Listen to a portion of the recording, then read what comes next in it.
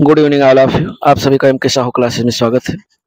आज ये विश्व के भूगोल का आखिरी लेक्चर और आखिरी लेक्चर का नाम है 21 जो कि मानचित्र और विविध से रिलेटेड है मैपिंग और मिसलिनियस तो इसमें जो एन सी आर टी सार संग्रह महेश बनवाल की चल रही है, इसमें जो विश्व के भूगोल का ये आखिरी लेक्चर है, इसको हम लोग देख लेते हैं और आप लोग कमेंट करके बताइएगा कि आगे जो है आपको वीडियो साइंस की चाहिए या जो है पर्यावरण एवं पारिस्थितिकी क्योंकि पर्यावरण पारिस्थिति में हमें लग रहा है कि तीन से चार वीडियो में सिमट जाएगा।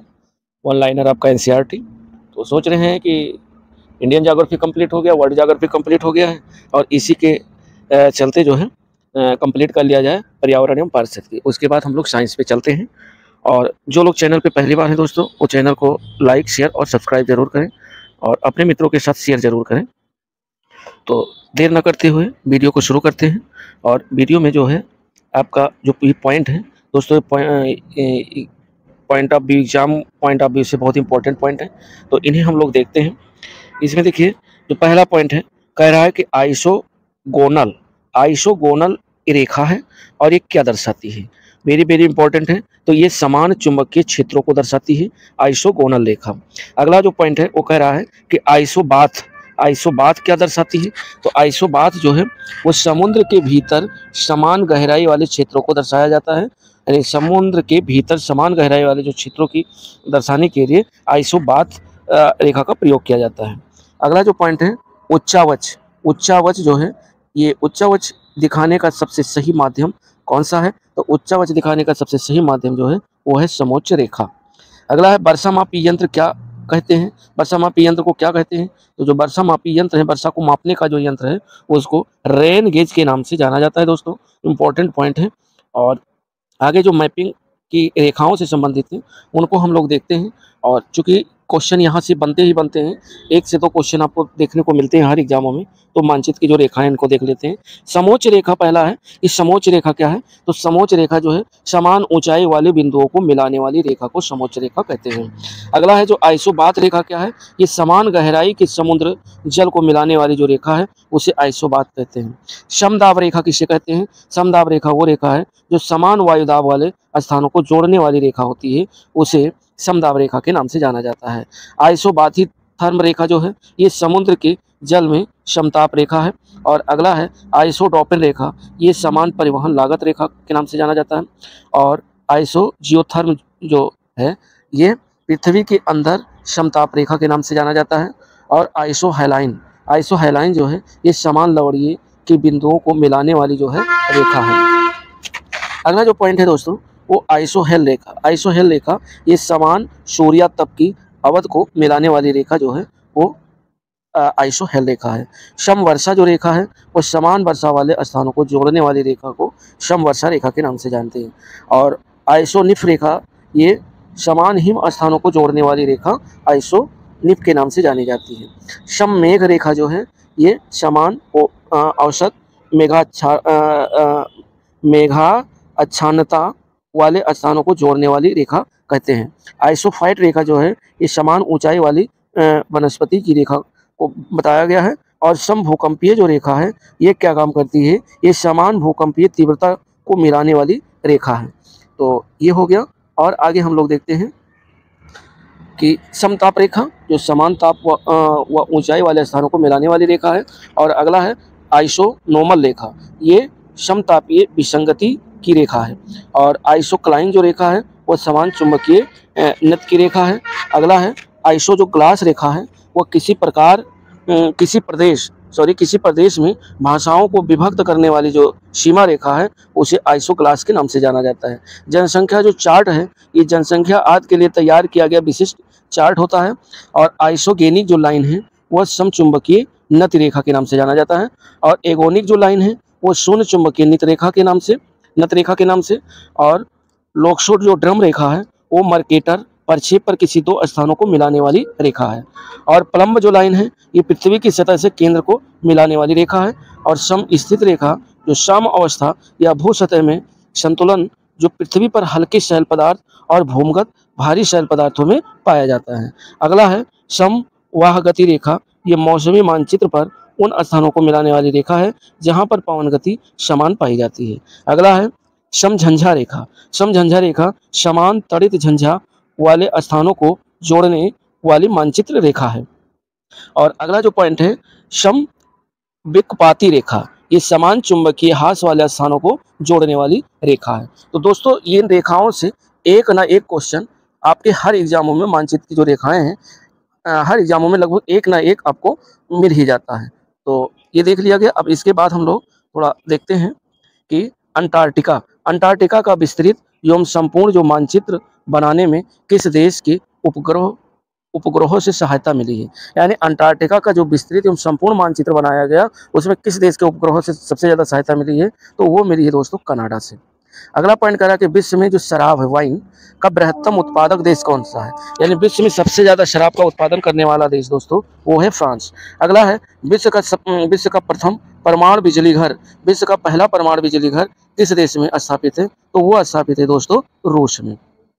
अगला पॉइंट कह रहा है कि ब्राज़ील ब्राज़ील का जो कहवा है, ब्राज़ील का कहवा जिसे कॉफ़ी कहते हैं, बागानों को क्या कहा जाता है? तो फजेंडा के नाम से जाना जाता है। ब्राज़ील कहवा के लिए प्रसिद्ध है और जो वहाँ के जो बागान हैं, उनको फजेंडा के नाम से जाना जाता है। अगला पॉइंट है कि संयुक्त राज्य अमेरिका का उपग्रह प्रक्षेपण केंद्र जो है, वो कहाँ स्थित है? वो केप कनेडी, फ्लोरिडा में स्थित है।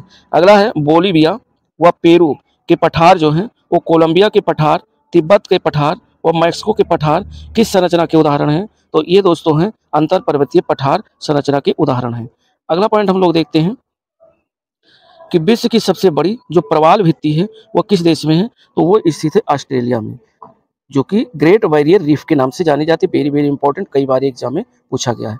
अगला है दोस्तों, चेरनोबिल प्रमाण आपदा। तो जो चेरनोबिल प्रमाण आपदा है, वह अप्रैल उन्नीस सौ छियासी यूक्रेन में घटना घटी थी। चेरनोबिल परमाणु आपदा की जो घटना घटी थी, कब घटी थी? उन्नीस सौ छियासी में। कहाँ घटी थी? यूक्रेन में घटी थी। अगला है, पीसा की जो झुकी मीनार है, वो किस देश में स्थित है? तो वो स्थित है दोस्तों इटली में। और अगला पॉइंट देखते हैं हम लोग कि एलेसी पैलेस जो एलेसी पैलेस है वो किस देश में स्थित है? तो वो दोस्तों स्थित है फ्रांस में। और सबसे अधिक जो डाकघर की बात करें, पोस्ट ऑफ़िस किस देश में है? तो सबसे ज़्यादा जो डाकघर हैं, वो अपने प्यारे भारत देश में है। और अगला पॉइंट कह रहा है कि विश्व भाषा के रूप में कार्य करने के लिए बनाई गई एक कृत्रिम भाषा का जो नाम है, वो एस्पेरांटो है। उसका क्या नाम है? एस्पेरांटो। यानी विश्व भाषा के रूप में कार्य करने के लिए जो बनाई गई एक कृत्रिम भाषा है, और उस भाषा का नाम एस्पेरांटो है। तो ध्यान रखिएगा, अगला जो पॉइंट है ग्रैंड कैनियन ग्रैंड कैनियन जो है, ये किस देश में स्थित है? वो स्थित है यूएसए में, दोस्तों वेरी वेरी इंपॉर्टेंट पॉइंट है। अगला है कैलाश मानसरोवर, जो तीर्थ स्थल है, ये कहाँ पर स्थित है? तो कैलाश जो मानसरोवर है, वो तीर्थ स्थल आपके चीन अधिकृत तिब्बत में स्थित है। यानी जो तिब्बत है, वो चीन के अधिकार में है इस समय तो चीन अधिकृत तिब्बत में स्थित है कैलाश मानसरोवर तीर्थ स्थल इंपॉर्टेंट पॉइंट है अगला पॉइंट कह रहा है कि दक्षिण एशिया का सर्वाधिक जो नगरीकृत देश है, वो कौन सा है दोस्तों? तो दक्षिण एशिया का जो सर्वाधिक नगरीकृत देश है, वो आपका पाकिस्तान है। और अगला जो पॉइंट है, वो हम लोग देखते हैं कि कोपा कोपा कोबाना पुलिन, कोपा कोबाना जो पुलिन है, ये किस देश में स्थित है? तो कोपा कोबाना जो पुलिन है, ये ब्राज़ील में स्थित है दोस्तों। अगला पॉइंट है कि विश्व की सबसे गहरी, विश्व की सबसे गहरी गहराई पर स्थित जो बिंद है, वो कौन सा है? तो विश्व का सबसे गहराई पर स्थित जो बिंद है, वो मेरियाना गर्त के नाम से जाना जाता है, जिसे चैलेंजर द्वीप में स्थित है ये। मेरियाना गर्त या मेरियाना गर्त के नाम से जाना जाता है, जो कि चैलेंजर द्वीप में स्थित है। तो ये विश्व का सबसे गहरा स्थित बिंदु है, ध्यान रखिएगा। और इम्पोर्टेंट पॉइंट है, ये पूछा भी गया है कई बार विभिन्न एग्जामों में। अगला पॉइंट है, कह रहा है कोरल रीफ। दोस्तों, बहुत इंपॉर्टेंट है। कोरल रीफ या जीवाश्म पट्टी, ये प्राय कर्क एवं मकर रेखा के मध्य तटीय क्षेत्रों में पाई जाती है। वेरी वेरी इंपॉर्टेंट पॉइंट सवाल ऐसे पूछ सकता है वन लाइनर भी पूछ सकता है और कोर्ट में भी पूछ सकता है कि कोरल लीप जो जीवाश्म पट्टी है, ये किन दो रेखाओं के मध्य तटीय क्षेत्र में पाई जाती है? तो ये पाई जाती है दोस्तों कर्क रेखा और मकर रेखा के तटीय क्षेत्रों में। अगला पॉइंट कह रहा है कि सर्वाधिक ऊंचाई के जो बादल हैं उन्हें किस नाम से जाना जाता है या उनकी संरचना कैसी है तो उन्हें पच्छाव स्तरीय बादल कहते हैं। और ये भी क्वेश्चन पूछा गया है। वेरी इंपॉर्टेंट पॉइंट है।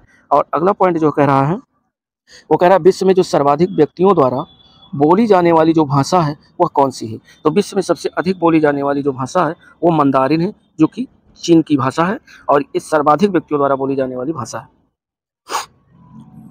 और नेक्स्ट पॉइंट कह रहा है ग्रांड बैंक ग्रांड बैंक कहाँ स्थित है? तो ग्रांड बैंक दोस्तों, उत्तरी अमेरिका के पूर्वी तट पर स्थित है। इंपॉर्टेंट पॉइंट है। अगला पॉइंट कह रहा है कि वायुदाब। वायुदाब सबसे कम कब होता है? तो वायुदाब जो है दोस्तों, सबसे कम ग्रीष्म ऋतु में वायुदाब सबसे कम होता है। नेक्स्ट पॉइंट हम लोग देखते हैं। अगला पॉइंट कह रहा है कि भूगोल में नवनियतिवाद सिद्धांत।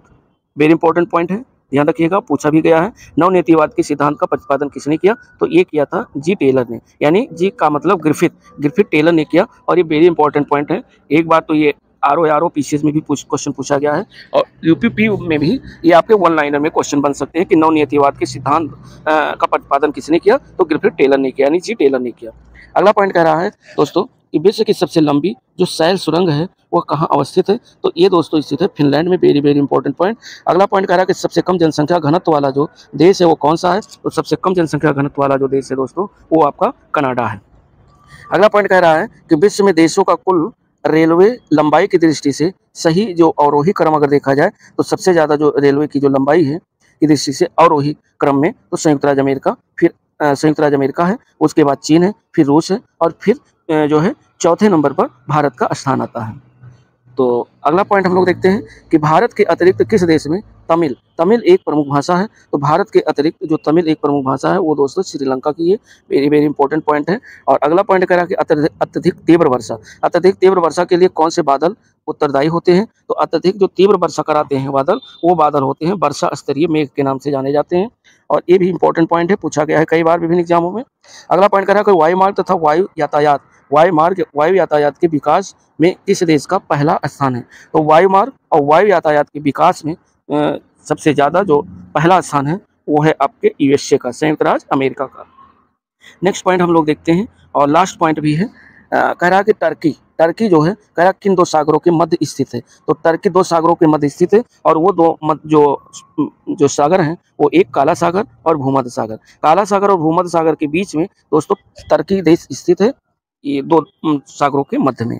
अगला पॉइंट कह रहा है कि विश्व का विशालतम जो स्वर्ग है विश्व का विशालतम स्वर्ग क्षेत्र कहाँ है? तो ये दक्षिण अफ्रीका में कौन सी पर्वत श्रेणी में अवस्थित है? तो ये है बिटवाट बिटवाटर्स रेंड ये पर्वत श्रेणी पर स्थित है। सवाल ऐसे पूछ सकता है कि विश्व का विशालतम स्वर्ग क्षेत्र कहाँ स्थित है? तो ये स्थित है दोस्तों दक्षिण अफ्रीका महाद्वीप में। और कौन सी पर्वत श्रेणी में अवस्थित है? तब बिट्स वाट वाटर्स रेंट जो पर्वत श्रेणी है, वहाँ स्थित है। अगला लास्ट पॉइंट है, करा लाल सागर। लाल सागर एक उदाहरण है। किस चीज़ का उदाहरण है? ये अच्छे द्रोणी का उदाहरण वेरी वेरी इंपॉर्टेंट पॉइंट ध्यान रखिएगा। जो लाल सागर है, वो अच्छे द्रोणी का एक उदाहरण है। और लास्ट पॉइंट कह रहा है कि अरब सागर अरब सागर में स्थित जो अधिकांश द्वीप हैं, उनकी जो संरचना है संरचना की दृष्टि से किस प्रकार के हैं? तो जो अरब सागर में स्थित अधिकांश जो द्वीप हैं, उनकी संरचना दोस्तों, मूँगा द्वीप के आकार की है। तो ये लास्ट पॉइंट आपका हो गया, मूँगा द्वीप। अब हम लोग जो है वर्ड जाग्रफी दोस्तों कंप्लीट हो गया है। अब हम ये सोच रहे हैं कि पर्यावरण एवं पारिस्थितिकी बहुत इंपॉर्टेंट टॉपिक है। ये और दो, तीन, चार लेक्चर में आपका पर्यावरण, पारिस्थितिकी वन लाइनर कंप्लीट हो जाएगा एनसीईआरटी तो उसको कंप्लीट करके हम आपको साइंस की ज़्यादा डिमांड थी, लेकिन हम सोच रहे हैं कि इतना बीच में छूट जाएगा। तो पर्यावरण, पारिस्थितिकी इसी जोग्राफी के साथ कंप्लीट कर लेते हैं और फिर जो है आपके जो है साइंस में लेक्चर बाय लेक्चर और चैप्टर बाय चैप्टर आपको जो है लेक्चर मिलेंगे। तो उन्हें आप वॉच करिए और आगे जो भी आने वाले एग्ज़ाम में एग्ज़ाम है, उसमें आप अच्छा स्कोर करें। यही मेरी शुभकामनाएँ हैं और मिलते हैं नेक्स्ट वीडियो के साथ। तब तक दोस्तों, नमस्कार, जय हिंद और चैनल को सब्सक्राइब ज़रूर करें अपने मित्रों के साथ।